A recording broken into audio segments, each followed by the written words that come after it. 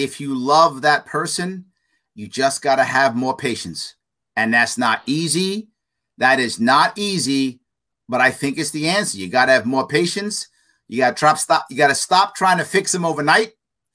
You got to just got to keep your ears open and let them know that you care. I think that's the best the, thing that a civilian could just do to hope that eventually the person goes and gets help.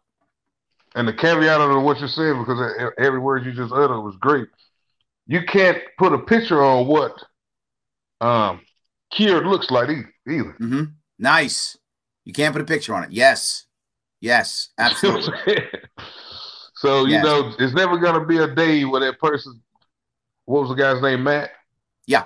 Well, you're gonna see him and be like, "Oh, he's cured." It's never. It's, you're gonna have to be able to feel it and touch it, and to be able to do that is to spend time with that person every day or every opportunity you get, and make sure you don't uh, judge them or think less of them. Just appreciate the fact that even if he does does sway off the off the beaten path, that he's he's strong enough to come back. Because when you mm. sway, sometimes the the the route or whatever uh, shortcut or turn off that you fall down is tough to get back to where it was that you know everybody could all right he's he's back on the road he's going again so good